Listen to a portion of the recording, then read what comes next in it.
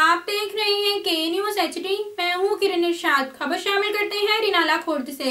रिनाला खुर्द में एनएसएफ तंजीम का सालाना इजलास, चौधरी जैन की रिहायश गाह पर मुनद किया गया। मजीद इस हवाले से रिपोर्ट कर रहे हैं इमरान खुशी।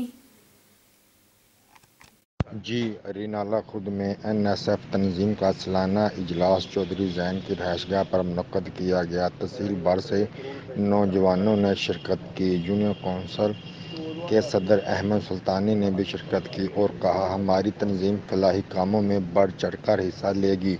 नौजवानों को चाहिए मुल्क कौम की खिदमत करें और नवाज़ शरीफ की क्यात में मुल्क तरक्की करेगा। तकरीब के मेहमान सूची, चौधरी अहमद और चौधरी हमजा और चौधरी जैन